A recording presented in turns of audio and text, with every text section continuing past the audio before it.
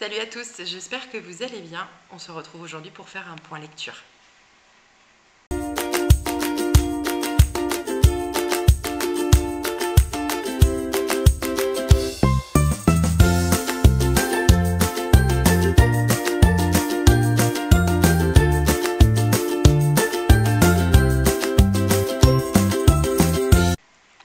Comme à mon habitude en ce moment, je vais vous présenter quatre romans et on commence tout de suite par une lecture qui commence à dater un petit peu.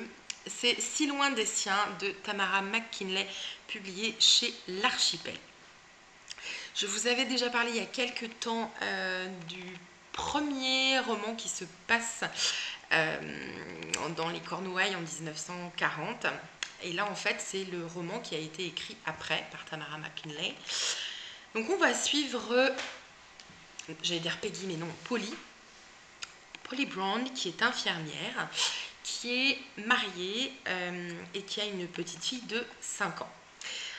Polly, en fait, donc là, on est un petit peu plus tard hein, dans les années 40, que, enfin en, 40 que le, premier euh, tome. On est plutôt vers le mois de, septembre 40. Et en fait, euh, Polly habite avec sa sœur, ses neveux et sa mère et sa petite fille son mari a été blessé pendant euh, les premiers affrontements euh, de la Seconde Guerre mondiale et il est à Cliff Haven, dans l'hôpital, donc elle a demandé à être mutée là-bas. Cliff Haven, qui est l'endroit où Peggy, Peggy Riley, euh, a sa pension du bord de mer, cette pension que l'on suit au travers des tomes. Donc Polly euh, a dit oui à sa mère et sa sœur pour qu'elles emmènent sa petite fille de 5 ans ainsi que ses neveux et donc qu'ils partent tous ensemble au Canada pendant qu'elle elle va descendre plus bas dans le, pays, en Cornouailles, pour rejoindre son mari qui est donc à, à l'hôpital et habiter la pension du bord de mer et exercer son métier d'infirmière. Polly va arriver dans la pension et comme euh, Sally euh, dans le premier tome, elle va s'y sentir super bien. Même si euh, avoir laissé partir sa, petite fille à, des milliers de, kilomètres en bateau, ça lui fait extrêmement peur. Même si elle retrouve son mari dans un état pas très stable, elle est morte d'inquiétude, Polly. Euh, pour autant, voilà, elle a trouvé un endroit où elle est bien. Elle est contente de, euh, retrouver un poste d'infirmière et de rencontrer cette femme et Peggy, et, pardon, et, toute, sa, famille. Alors, je vous avais dit la dernière fois que euh, pour ceux qui avaient envie de lire des romans qui se passaient pendant la Seconde Guerre mondiale, où le combat n'était pas trop présent, euh, c'était, euh, je vous conseillais Tamara McKinley.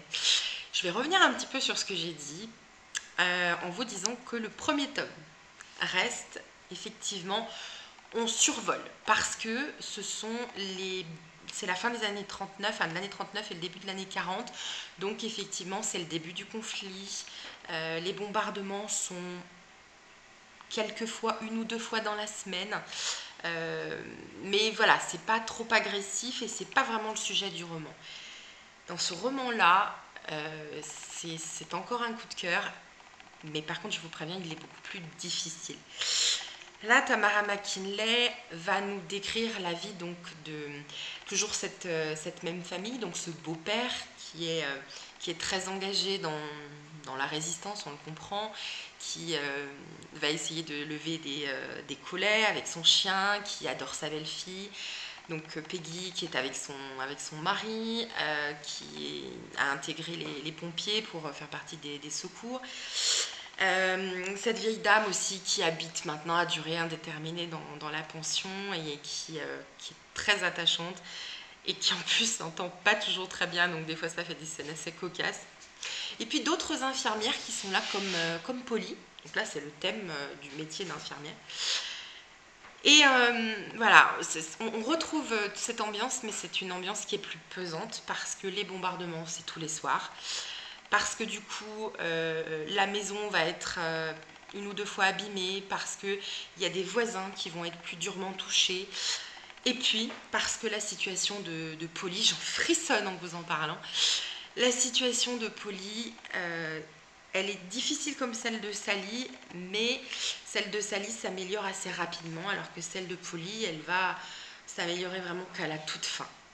Donc on termine sur une note positive, mais sachez que dans ce roman-là, la guerre est plus avancée et plus virulente, que euh, Polly là est une adulte et fait face à des problématiques vraiment d'adultes, des choses pas simples, la séparation avec un enfant, un mari qui, euh, qui a été blessé grièvement, et puis euh, également tout ce que les autres personnages peuvent, peuvent vivre à côté.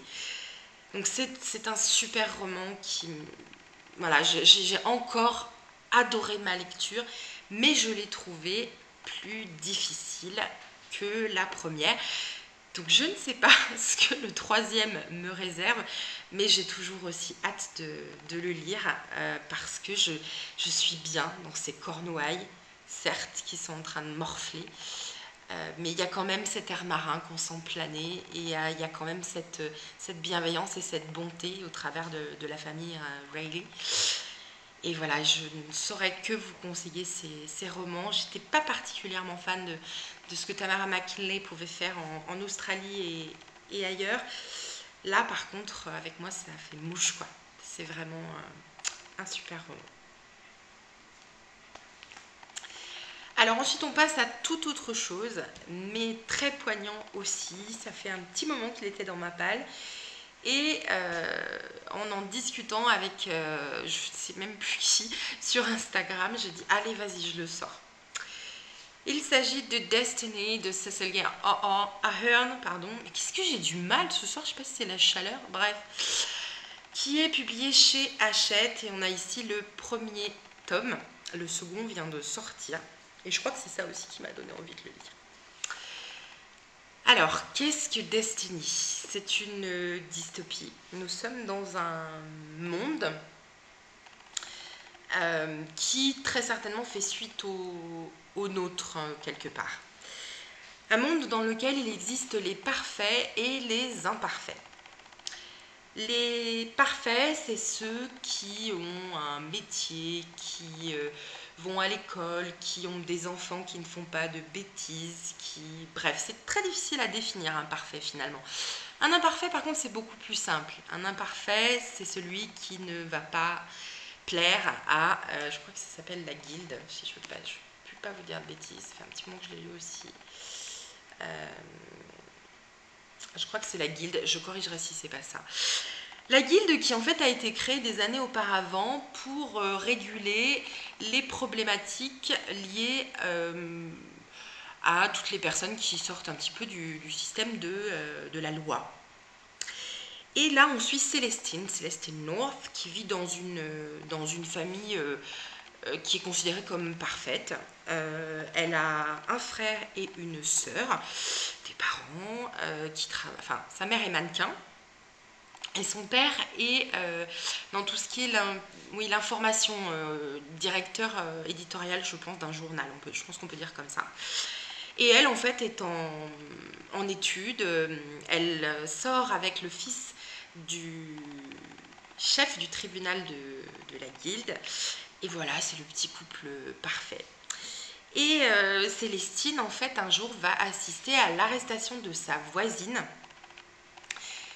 qui a commis un méfait qui est décidé comme imparfait. Je, vous dis ce que c'est parce que moi ça me fout la rage. En fait, en fait, cette voisine a accompagné sa maman pour dans un autre pays pour euh, être avec elle lors de son suicide assisté parce qu'elle était malade. Voilà la très grande faute qu'a commise la voisine de, euh, de Célestine. Et à partir de là, c'est vrai que euh, Célestine va commencer à se poser des questions sur, euh, sur sa vie, euh, sa sœur qui déjà n'a pas forcément le même comportement qu'elle, qui parfois a envie de se, de se révolter, hein, on, le, on, le, sent, qui, qui se contient beaucoup plus. Et ça va, c'était sa prof de piano, cette voisine, et c'est vrai que ça va beaucoup l'affecter. Beaucoup Mais bon, elle continue son train de vie. Et en fait, un jour, dans un bus, elle est avec sa sœur, justement, et son petit ami, et euh, elle va voir un monsieur qui est marqué imparfait. et qui a une quinte de tout. Et elle le voit, elle n'arrive pas à le quitter des yeux. Et en fait, ce qu'elle va faire, c'est se lever et demander à une dame de lui céder sa place à ce monsieur. Ou, euh, au pire, qu'il vienne prendre la, sienne. Sauf que un imparfait ne doit pas être aidé. Une fois qu'on est marqué du sceau, euh, du i de imparfait, on est un rebut de la société. Et un parfait ne peut pas nous aider. Même lors dans un cas comme ça d'assistance à personne en danger. Et à partir de là, Célestine va être arrêtée et va devoir passer en jugement. Et en fait, elle va servir d'exemple. Et en fait, ce qu'il faut savoir, c'est que suivant le méfait imparfait que l'on commet, on est marqué du saut du i à l'endroit concerné. Donc si on a mal réfléchi, c'est sur la tempe. Si on a dit quelque chose qu'il ne fallait pas dire, c'est sur la langue si euh, c'est euh, y a un truc sur la main aussi, enfin bref, il y a plusieurs endroits. Et en fait, on n'a jamais dépassé plus de deux ou trois marques. Et Célestine va être marquée un nombre de fois je ne vous dirai pas. Et voilà, ça ne doit pas être divulgué. Alors, ce livre, effectivement, moi, m'a révolté parce que je me suis dit, mais en fait, c'est une société qui marche sur la tête pour moi. Enfin, il n'y a même pas de terme une fille qui veut faire le bien en aidant quelqu'un quelqu'un qui va pas bien, on la punit. J'ai rien compris à la vie, moi, ça c'est clair. Et, euh, en fait, on, est à nouveau dans une dystopie où euh, il y a un jeu de pouvoir, où les soi-disant parfaits sont complètement corrompus et appliquent des lois qu'ils ont eux-mêmes créées. Donc il y a une, vraie réflexion sur ce qu'est la justice et sur tout ce qu'est l'injustice. Et c'est vrai que c'est à certains moments, c'est il y a des hauts le cœur quoi qui arrivent parce que parce que ce qu'elle vit, elle, elle, va être un, exemple tant physiquement que euh, qu'un petit peu à la Katniss où elle va servir de cause pour faire avancer euh, certains mouvements cachés. Et c'est voilà, enfin, on se dit, euh, finalement, elle a, elle a, juste essayé de, faire asseoir un monsieur qui, qui était en train de s'étouffer. Elle l'a aidé et, en fait, elle va devenir euh, le, gemme au cœur de, de la saga de, Cecilia Havern. Et c'est voilà, c'est ce genre de dystopie qui fait que j'adore les lire parce que c'est là où je vois qu'on a des sociétés qui, qui sont complètement à côté, qui, euh, qui peuvent dysfonctionner. Et là, je trouve que l'autrice, elle nous montre à quel point on peut dysfonctionner quand on tape sur quelqu'un parce qu'il a fait quelque chose de bien. Et finalement, ça, ça arrive, ça arrive dans notre monde à nous, plutôt dans le sens inverse, où on tape pas sur quelqu'un qui a fait quelque chose de, mal. Donc voilà, c'est vrai que toutes les chroniques qui étaient positives, hein, en général, que j'ai vues, disent que c'est un livre qui est dur, et je confirme que euh, les, souffrances que, traverse euh, Célestine sont absolument horribles, physiquement hein, et mentalement, mais que du coup elle va se, rendre compte que c'est quelqu'un de, très fort, que c'est quelqu'un finalement de, bon, euh, qu'elle elle cherche la bienveillance et qu'elle ne comprend plus du tout cette société dans laquelle elle vit et elle va grandir d'un coup. Et je me demande bien ce que réserve le tome 2, euh, parce que la, fin est, et voilà, on, sent que Célestine est, très recherchée par les mouvements rebelles et il y en a plusieurs, il y en a des différents, donc elle est un peu tiraillée par divers mouvements.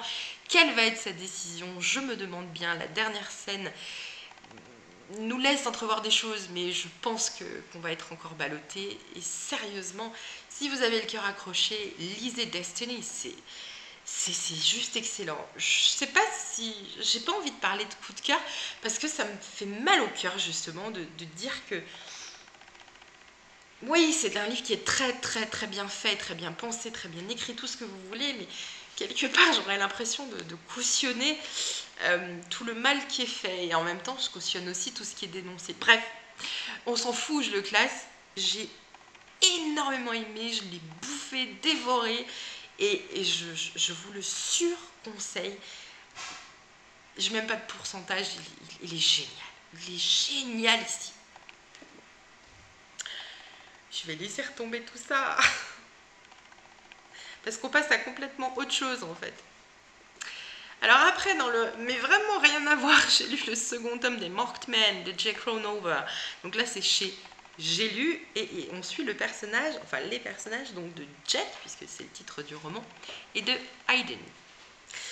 Donc on est toujours euh, avec ces euh, mecs tatoués, je ne peux pas dire les tatoueurs, parce que là justement c'est pas un tatoueur. Donc on est quand même toujours dans ce groupe d'amis, euh, dont certains travaillent dans le salon de tatouage, c'était le cas de Rule dans le premier tome. Et là Jet, c'est un ami qui a eu un peu la même enfance que Rule et d'autres. il a été élevé par celui qu'ils appellent l'oncle Phil, et euh, lui, par contre, il est devenu musicien et musicien de métal. Parce que c'est un être qui est quand même assez torturé. Il a eu une vie de famille euh, méga compliquée. Et pour autant, il a beau faire du heavy metal, il a beau euh, hurler sa rage, sa colère, etc. C'est quelqu'un de bien. En fait, c'est comme Rule dans le premier tome. on n'est pas sur des, bad boys dans l'âme. On est euh, sur un extérieur qui peut faire penser que, mais c'est pas le cas à l'intérieur. Hayden, Hayden elle aussi, elle traîne du, sacré casserole. C'est une fille qui vient du Kentucky et qui donc là est à Denver, où se passent tous les, tomes a priori, jusqu'à maintenant, dans l'université donc du Colorado où elle suit des études. Et euh, dans le premier tome, on voyait bien qu'elle avait flashé sur, euh, sur Jet. Et en fait, ni l'un ni l'autre ne veulent vraiment avoir une relation à cause de leur passé. Ils ont peur de ne se faire que du, mal. Et puis, finalement, ils vont, ils vont craquer euh, avec les bienfaits et les moins bonnes choses qui vont se, qui vont se passer.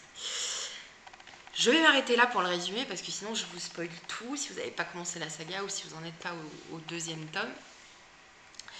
En tout cas, c'est toujours très sympa à lire. Euh, merci à J'ai lu parce que je crois que j'ai trouvé pas plus de 4 fautes. Donc par rapport à Hugo, cool. 3-4 fautes dans un roman de plus de 400 pages, ça va. C'est pardonnable. Donc déjà là-dessus, sur J'ai lu, vous pouvez les lire, vous vous ferez pas mal aux yeux et ailleurs. Euh, ça se lit très vite. Par contre, c'est vrai, je l'avais pas forcément remarqué dans le premier tome parce que c'est pas ce que je guettais mais alors le style est simplissime au possible. Et c'est ça qui fait qu'on lit très vite aussi. C'est des phrases très longues, euh, avec peu de vocabulaire, qui sont toujours au jeu, donc il n'y a pas vraiment de variante. Et à certains moments, ça m'a paru un petit peu long. Alors voilà, donc je ne l'ai pas autant aimé que Rule. Pourtant, l'histoire reste intéressante. C'est deux, deux personnes qui ont été cabossées par la vie euh, pour des raisons familiales tous les deux, mais complètement différentes. Euh, c'est plein d'aventures, ça prépare le prochain tome qui sera sur euh, Rom, le frère de Rule, mais j'ai pas autant aimé que le premier. Alors, peut-être parce qu'il n'y a pas l'effet de surprise où effectivement les persos sont plus travaillés, peut-être parce qu'on n'est pas dans le salon de tatouage on n'y passe pas trop. Il y a bien des connexions avec, euh, avec Rule, avec Shaw, avec Cora, enfin voilà, avec les autres personnages euh, qu'on voit, Odin, Ash, etc. Mais c'est vrai que je me suis rendu compte que le style était beaucoup plus pauvre et que du coup, l'histoire, finalement, eh ben, elle était assez similaire, quoi. Rien de nouveau sous le soleil. Euh, un mec et une fille qui se pensent pas faits l'un pour l'autre, et puis il va y avoir des gros problèmes, ils vont se remettre ensemble, et voilà. Et bon, voilà, c'est un peu le jeu du chat et de la souris. Donc franchement, j'ai beaucoup moins, aimé que le premier. Mais on passe un, moment agréable, surtout à cette période de l'année, c'est léger, c'est pas une, prise de tête. Et je crois qu'il est venu se greffer en plus entre des, des, romans qui étaient plutôt très très poignants. Et, euh, et c'était peut-être pas facile pour lui de, de trouver, euh, de trouver sa place. Quoi qu'il en soit, j'avais tellement aimé le personnage de, Rom dans le, premier tome, parce qu'il a une, place importante, vu que c'est le frère de Rule, que du coup, ben, j'ai envie, euh, j'ai quand même envie de le, lire, pour savoir euh, ben, déjà avec quelle fille il va être. J'ai une petite idée, mais je peux me tromper. Et, et puis du coup, voilà, toute l'histoire qu'on commence à connaître, j'aimerais bien savoir ce qui se passe un petit peu. Lui, il revient de, faire la guerre, donc lui aussi doit se trimballer de, des trucs derrière lui quand même. Donc voilà. Et puis, on a découvert dans ce tome un nouveau personnage, je vous le dis clairement, hein, c'est Asa, donc c'est le dernier tome des, des Markmen. Et au vu de ce qui se passe, lui aussi, j'ai bien envie de savoir ce qu'il nous réserve. Donc, en conclusion, Jack Ronover, euh, alors je sais pas si c'est son style ou si c'est la traduction, c'est pas hallucinant pour quelqu'un qui aime les... Quand même, le, texte a un tout petit peu, pas soutenu, mais quand même un petit peu amélioré. Mais elle arrive à susciter une curiosité qui fait qu'on va au bout de ses livres. Et puis voilà, le, sexe, c'est pas là pour... Euh, faire du sexe, quoi. C'est pas toutes les pages. Bah, c'est vraiment parce que euh, parce que c'est la nuit ou parce qu'on se retrouve, parce que voilà. Enfin, c'est des raisons qui sont plausibles et euh, c'est pas de la fesse pour la fesse. Et ça, c'est super bien par contre. Et puis cette bande de potes, je l'aime bien quand même. Donc, euh, donc voilà. Et le dernier, mais pas des moindres, franchement, je ne pense pas hein, que celle que vous connaissez sous le pseudo de Sailor Flow passe sur ma chaîne, mais si jamais tu passes par là, bravo. Bravo, je crois que je l'ai dit sur Insta déjà, mais voilà, enfin... J'ai lu euh, Rouille de Florian Soulas, publié chez Scrineo, donc en lecture commune avec Marilyn Titou Mamax. Je vais essayer de penser à vous mettre le lien de son blog. Euh, et toutes les deux, on a passé un excellent moment.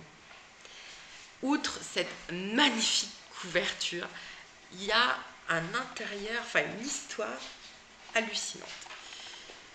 Alors, c'est l'histoire de Violente qui vit dans le Paris, alors pas encore, euh, ouais, on est fin du, 19e, 1897, je crois. Oui, c'est ça. Et dans ce Paris-là, ce Paris qu'a imaginé Floriane, euh, c'est assez compliqué parce qu'on a vraiment l'impression que les femmes, c'est où elles sont vraiment très riches, ou alors elles sont prostituées ou maquerelles. En tout cas, euh, c'est ce qui est arrivé à Violente. Elle est prostituée, plutôt prostituée de pas de luxe, mais bon, mieux que certaines parce qu'elle a sa propre chambre. Elle est dans une, maison qui s'appelle les, les, Jardins, donc elle est quand même pas mal protégée. Euh, par la maquerelle et euh, elle vit mieux que d'autres. Elle a connu, lorsqu'elle est arrivée, trois ans auparavant, une jeune femme qui s'appelait Satine. Et c'est la seule avec qui elle est devenue amie parce que les filles sont complètement jalouses d'elle. Ce qu'il faut savoir sur Violente, c'est qu'en fait, elle a perdu la mémoire. Elle ne se souvient que des trois années qui viennent de se passer. Et elle mène une quête, celle de savoir d'où elle vient, et en fait, euh, Satine, par contre, a été virée des jardins, donc là où, euh, se trouve euh, Violente.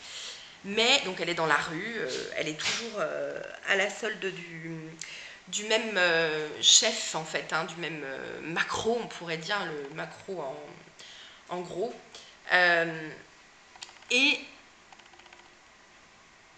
régulièrement, en fait, en douce, Violente sort de la maison close et essaye de trouver Satine dans, dans la rue.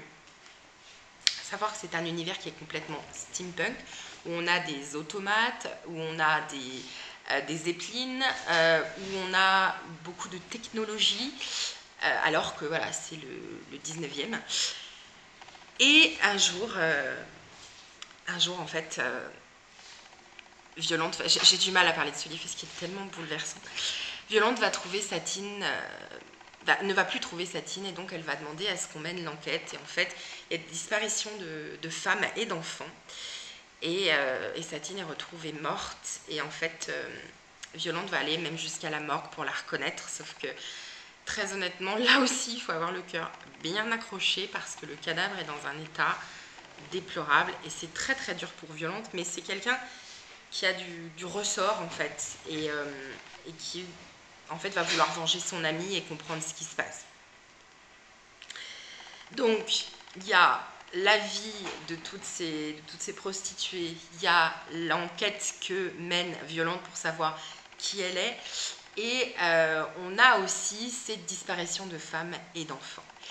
Moi, ce que je disais à Marilyn dans nos échanges euh, entre les, les, objectifs de page qu'on s'était fixés, c'est que pour moi, on était dans un mélange détonnant de Jack l'Éventreur, avec voilà ce pari où on tue de façon atroce des, prostituées, et un mélange de, Zola, parce que quelque part j'ai pu retrouver euh, un côté de, Nana, et un mélange de Hugo avec les misérables par rapport aux gamins, des gamins qui vivent dans la rue, qui, qui sont... Enfin, ça fait des petits gavroches, quoi. Et, euh, et, on est pile dedans. Et moi, je me dis, pour un premier roman, mais comment t'as fait, Floriane, quoi? Franchement, comment t'as fait? Il y a une écriture intuitive qu'on a l'impression qui vient facilement, qui, qui, gère, enfin qui génère même une atmosphère sombre, macabre, glauque, à la perfection. Enfin, franchement, c'est pour un premier roman. Moi, j'arrive pas à croire que c'est un premier roman. J'ai l'impression qu'elle en a écrit des dizaines derrière, mais qui n'ont jamais été publiés, certainement à tort, si c'est le cas. En tout cas, bravo à Scrinéo d'avoir euh, voilà, d'avoir publié Rouille, parce que pour moi, c'est une découverte. Ça a dû être une sacrée découverte pour eux aussi. Et c'est un, un, roman, mais qui, qui, qui, peut pas laisser insensible, qui met même très très mal à l'aise parfois.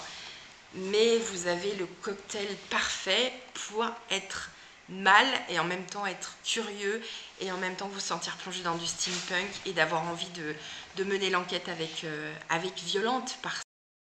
Et finalement, les, soupçons se tournent assez vite vers les, les responsables, mais c'est plutôt comment ils vont être arrêtés. La police, elle sert à rien. C'est vraiment et c'est là où tout est un peu remis en question, parce que c'est finalement le, le, milieu des, des, prostituées, et surtout des macros, qui va réussir à venir euh, à, venir à bout de, de ce qui se passe pour ces prostituées, pour ces enfants. Et puis la fin, donc qui est une fin euh, totalement euh, fermée, hein, mais encore une fois, Floriane n'a pas laissé place à la facilité, ça aurait pu être une fin super heureuse, hop, hop, hop. bah non, non. On reste dans la continuité du, roman.